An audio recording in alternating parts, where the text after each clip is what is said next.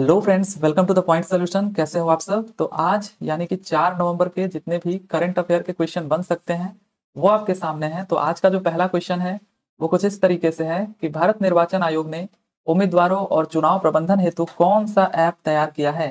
So which app has been prepare by the election commission of India for candidates and election management तो यहाँ पे जो correct answer है आपका इनकोर तो भारत निर्वाचन आयोग ने कौन सा ऐप तैयार किया है अभी? तो इन फोर आपको याद रखना है।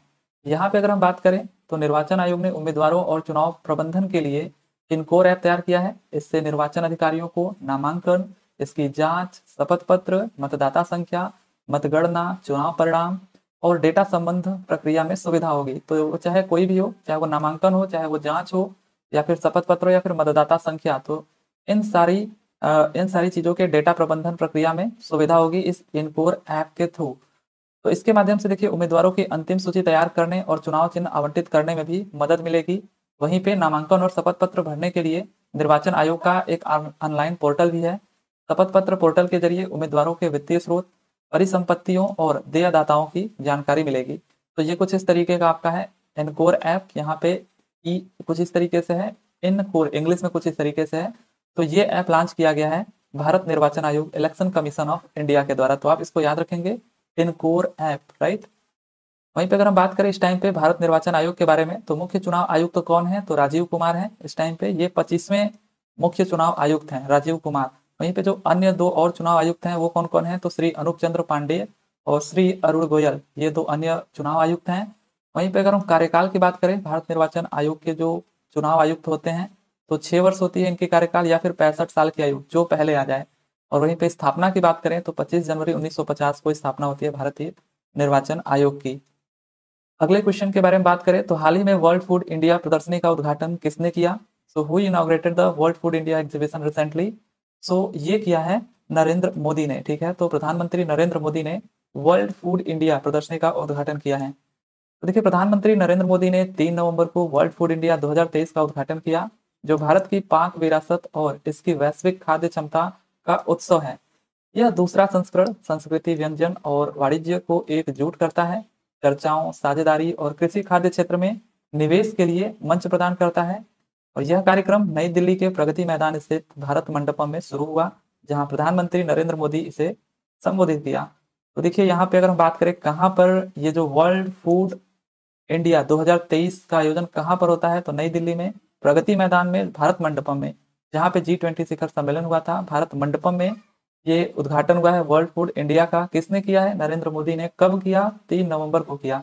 ठीक है? तो तीन से पाँच नवंबर तक ये चलने वाला है। तो ये आपका रहा वर्ल्ड फ़ूड इंडिया आप लोग इसको ध्यान रखेंगे। ठीक है? नरेंद्र मोदी जी ने इसका उद्घाटन किया। अगले क्वेश्चन की तरफ़ बढ़ जाए तो हाल ही में किस देश के द्वारा मिन्यूट मैन थर्ड मिसाइल का सफल परीक्षण किया गया है?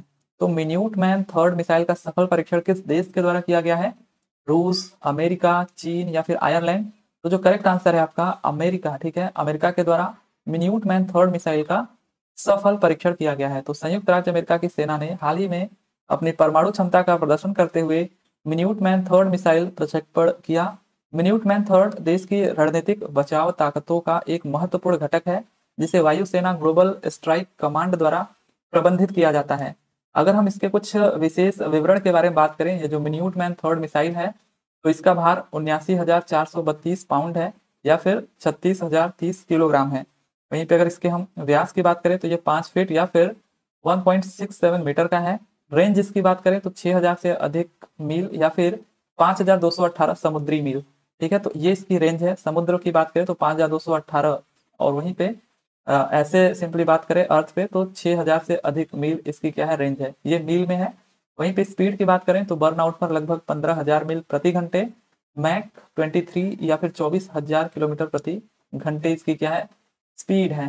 तो ये आपका है मिन्यूट थर्ड मिसाइल जिसका सफल परीक्षण संयुक्त राज्य अमेरिका की सेना ने किया राइट अगर हम बात करें रक्षा से संबंधित कुछ करंट अफेयर्स के बारे में तो नागा बटालियन को प्रेसिडेंट कलर अवार्ड्स मिला।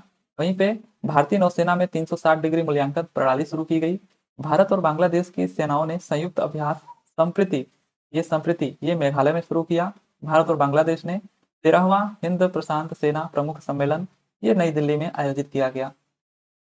अगले क्वेश्चन की तरफ़ बढ़ जाए तो एडलगिव हुरून इंडिया परोपकार सूची 2023 में कौन शीर्ष पर रहा? तो एडलगिव हुरून इंडिया परोपकार एक सूची जारी होती है, हर साल ये जारी होती है। एक्चुअली अगर सिंपली भाषा में समझे तो जो सर्वाधिक दान करता है, गरीबों में या फिर किसी संस्थाओं पे, ये उनकी सूची होती है तो हर साल ये निकाली जाती है। तो ये 2023 का जो एडल गिव हुरून इंडिया परोपकार सूची है, इसमें कौन शीर्ष पर रहा? तो इसमें शीर्ष पर रहे हैं शिव नादर और परिवार, ठीक है? शिव नादर और परिवार को यहाँ पे शीर्ष स्थान प्राप्त हुआ। तो ये देखिए एच सी एल टेक जो एच सी एल टेक के एच सी एल टेक के यहाँ पे जो संस्थापक हैं शिव नादर और उनके परिवार ने एडल गिव हुरून इंडिया परोपकार सूची 2023 में शीर्ष स्थान बरकरार रखा है। वित्तीय वर्ष 2022-23 के लिए उन्होंने दो हज़ार बयालीस करोड़ रुपए का पर्याप्त दान दिया। यह लगातार पांचवा वर्ष है जब नादर 78 वर्ष की आयु में उन्होंने इस विशिष्ट रैंक का दावा किया है। तो ये लगातार पांचवी बार, ठीक है, ये जो शिव नादर है, लगातार पांचवी बार इस सूची में शीर्ष पर हैं। वहीं पे अगर हम लोग टॉप फाइव की बात कर लें तो कौन कौन टॉप फाइव ऐसे लोग हैं जिन्होंने सर्वाधिक दान दिए हैं? तो शिव नादर एंड फैमिली, ये एचसीएल टेक कंपनी के क्या हैं? संस्थापक हैं और इन्होंने दो हज़ार बयालीस करोड़ रुपए यहाँ पे डोनेशन किया है। वहीं पे अजीम प्रेम जी एंड फैमिली, ये विप्रो के संस्थापक हैं। ये इन्होंने सत्रह सौ करोड़ रुपए यहाँ पे अगर हम बात करें तो इतना इन्होंने क्या किया है? डोनेशन किया है। वहीं पे मुकेश अंबानी एंड फैमिली, ये तीसरे नंबर पे है। और कुमार मंगलम बिरला एंड फैमिली, जो कि आदित्य बिरला कंपनी के मालिक हैं। इन्होंने ये चौथे स्थान पर दो सौ सत्तासी करोड़ का डोनेशन इन्होंने किया है। और गौतम अडानी एंड फैमिली का भी नाम आता है पाँचवें नंबर पे, जिन्होंने दो सौ पचासी करोड़ का यहाँ पे डोनेशन किया है और ये पाँचवें स्थान पर है। ठीक है तो ये कुछ रैंकिंग है जो टॉप टेन है in the EdelGive Hurun India philanthropy list 2023 में। तो इसको आप याद रखिएगा शिवनादर एंड फैमिली को पहला स्थान यहाँ पे प्राप्त हुआ है। अगला क्वेश्चन हमारा है कि धार्मिक पर्यटन को बढ़ावा देने के लिए बहुभाषी माइक्रो साइट कौन सा राज्य लॉन्च करेगा? तो कौन सा राज्य यहाँ पे धार्मिक पर्यटन को बढ़ावा देने के लिए बहुभाषी माइक्रोसाइट लॉन्च करेगा? तो ये करेगा केरल। तो केरल यहाँ पे आपका करेक्ट आंसर हो जाएगा। तो देखिए, राज्य में धार्मिक स्थानों और तीर्थ पर्यटनों को बढ़ावा देने के लिए केरल पर्यटन की नई योजना कुछ नए माइक्रोसाइट्स के लॉन्च पर केंद्रित है। ये सभी जोड़े गए पर्यटन स्थलों की आवश्यक जानकारी और सुविधाएँ प्रदान करने के लिए तैयार किया गया है। योजना एक ऐसी माइक्रोसाइट पेश करने की है जो विभिन्न भाषाओं में तथ्यों और सूचनाओं से समृद्ध हो, जिसका प्राथमिक ध्यान सबरीमाला मंदिर पर हो। तो सबरीमाला काफ़ी चर्चे में रहने वाला मंदिर है, अपने आप जानते होंगे। तो यहाँ की जितनी सुविधाएँ हैं, यहाँ के जितने रूल रेगुलेशन हैं, उनको कई भाषाओं में देने के लिए ये यहाँ पे माइक्रो साइट जो लॉन्च किया जा रहा है साइट तो ये यहाँ पे लॉन्च किया जा रहा है केरल में, ताकि जितने भी यहाँ पे पर्यटन स्थल है, वहाँ पे आसानी से सुविधाओं से, वहाँ के रूल रेगुलेशंस को जानते हुए लोग यहाँ का पर्यटन कर सकें। तो माइक्रोसाइट कुल देखिए, पाँच भाषाओं में, धार्मिक स्थल के बारे में कुछ आकर्षक विवरण साझा करेगी और जिनमें अंग्रेज़ी, हिंदी, कन्नड़, तमिल और तेलुगु भाषा शामिल है। तो यहाँ पे आपको याद रखना है कि धार्मिक पर्यटन को बढ़ावा देने के लिए बहुभाषी माइक्रोसाइट कौन सा राज्य लॉन्च कर रहा है? तो ये केरल लॉन्च कर रहा है राइट अगले क्वेश्चन की बात करें तो श्रीलंका के त्रिकोमाली में एसबीआई की शाखा का उद्घाटन किसने किया? तो किसने किया अभी श्रीलंका में त्रिकोमाली एसबीआई की शाखा का उद्घाटन? तो ये किया है निर्मला सीतारमन ने, ठीक है? तो ये तीन दिवसीय दौरे पर थे, निर्मला सीतारमन तो आपको याद रखना है, श्रीलंका के त्रिकोमाली में एसबीआई की शाखा का उद्घाटन किसने किया है? तो निर्मला सीतारमन जो अपने वित्त मंत्री हैं तो तीन दिवसीय यात्रा पर श्रीलंका गई। सीतारमण त्रिकोमाली ने भारतीय स्टेट बैंक की शाखा का उद्घाटन किया। इससे पहले इस बहुजातीय शहर में मुख्य हिंदू मंदिर भी पहुँची। उद्घाटन के अवसर पर पूर्वी प्रांत के गवर्नर सेंथ थोंडमन थे। और भारत, और श्रीलंका में भारत के जो उच्चायुक्त हैं, कौन है? गोपाल बागले, ये भी वहाँ पे मौजूद थे। और एसबीआई के जो अध्यक्ष है, दिनेश खरा, ये भी यहाँ पे मौजूद थे। तो अगर हम बात करें यहाँ पे पूर्वी प्रांत के गवर्नर सेंथिल थोंडमन थोंडमन और श्रीलंका में भारत के उच्चायुक्त कौन है? गोपाल बागले और इस टाइम पे एसबीआई के अध्यक्ष कौन है? दिनेश खरा। तो ये सभी लोग यहाँ पे मौजूद थे और निर्मला सीतारमन ने यहाँ पे त्रिको, त्रिकोमाली में, जो कि श्रीलंका में पड़ता है, यहाँ पे भारतीय स्टेट बैंक की शाखा का इन्होंने उद्घाटन किया। अगला क्वेश्चन देख लेते हैं कि लीला ओम चेरी का निधन हो गया है। वह कौन थी? तो लीला ओम चेरी का जो निधन हुआ, वो अभी अभी ये कौन ये कौन थी यहाँ पे? शास्त्रीय संगीतकार थी अर्थशास्त्री थी या फिर पत्रकार थी या फिर शिक्षिका थी।